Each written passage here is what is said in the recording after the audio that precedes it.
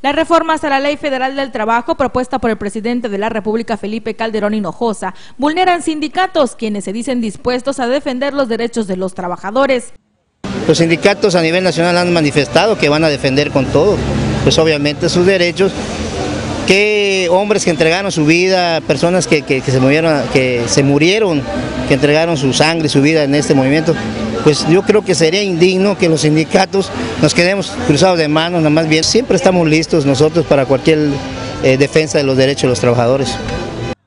Explicó que no se oponen a las reformas, pero sí a las formas en que se pretende imponer, la cual dijo está fuera de tiempo.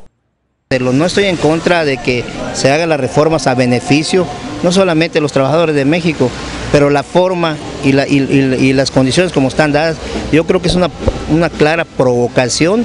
a los sindicatos para vulnerarlos más de lo que la intención del presidente, del presidente Felipe Calderón, que lo que estoy diciendo es una clara provocación, pues es que los sindicatos se, levanten en, lucha social para, para defender eh, las partes que le están vulnerando.